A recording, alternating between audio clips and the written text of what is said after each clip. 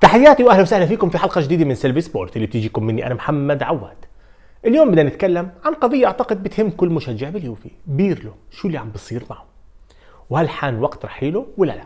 خلوني أحكي، أنا مشجع لليوفي وخليني أحكي مشكلتين عندي مع بيرلو. تخليني أقول يعني هذا الموسم كانوا كارثيات. بس بنفس الوقت حنحكي بالزاوية الثانية زاوية هل حان وقت الرحيل ولا لا؟ المشكلة الأولى عند بيرلو إنه الرجل كثير بغير كثير بغير مش بس خطة. يعني ما بنتكلم إنه مرة بنشوف 4 4 2 بعدين بنلقاه برجع 5 3 2 بعدين بنلقاه بنجرب 4 3 3 لا لا ما بنتكلم على التغيير هذا الكثير كمان النهج تاع الفريق وأسماء الفريق عم تتغير. بكثير مباريات بنحس الفريق بس بده يلعب أطراف. وفي مباراة فجأة بتلقى الفريق مركز ومتنح على العمق. هذا جزء. الجزء الثاني أي فريق في العالم عنده لاعبين ثلاثة أربعة لما يكونوا موجودين أنت بتكون شاعر بالأمان. عارف إنه هذول عمود الفقري تاع الخطة. يعني ريال مدريد لو شو ما لعب مباريات كبيرة وشو ما كان الشكل دائما في عندنا كروس ومودريتش وكاسيميرو. خلص هذا المثلث اللي لما يشوفوه جمهور مدريد بقول لك إحنا مرتاحين. حتى الآن بيرلو ما قدر يخلق هذا العمود الفقري تاع الفريق.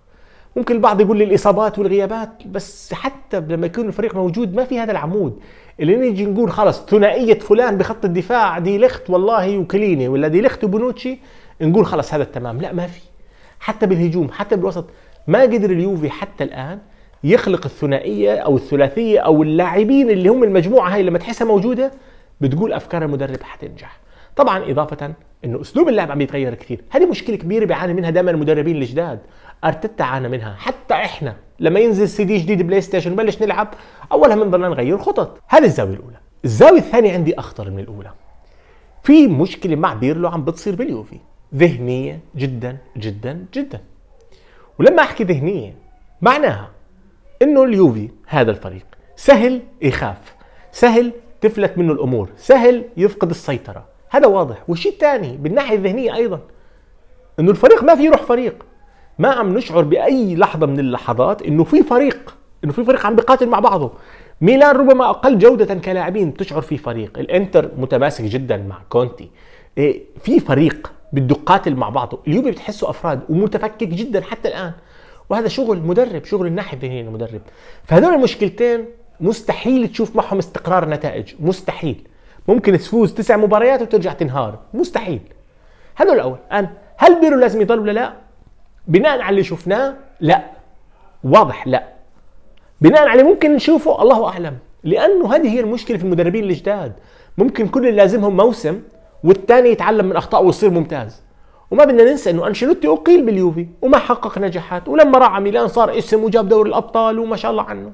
فبعض الأحيان المدربين اللي لسه بدهم يتعلموا أول بأول بيرتكبوا أخطاء وهفوات.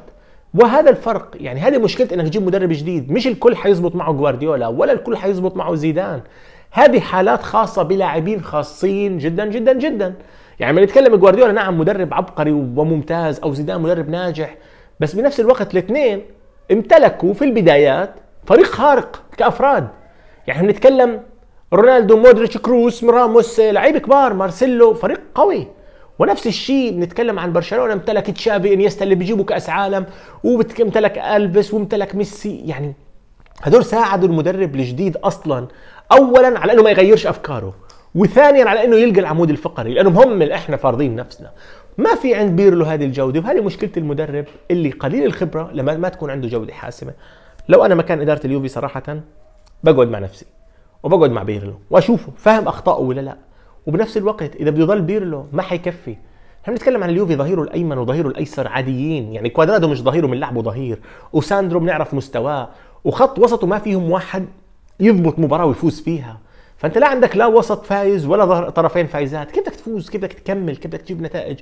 بدك صفقتين ثلاثة. لازم صفقات تكون صفقات جودة مش صفقات عدد بالصيف الجاي. سواء جا بيرلو أو أليجري أو مين ما كان محتاج هدول اللاعبين عشان الفوز.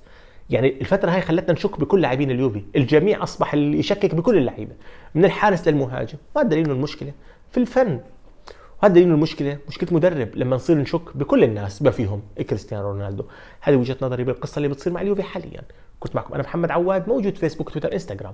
وضروري تساعدونا بترك ال like على الفيديو وتشتركوا بالقناة. والسلام عليكم ورحمة الله.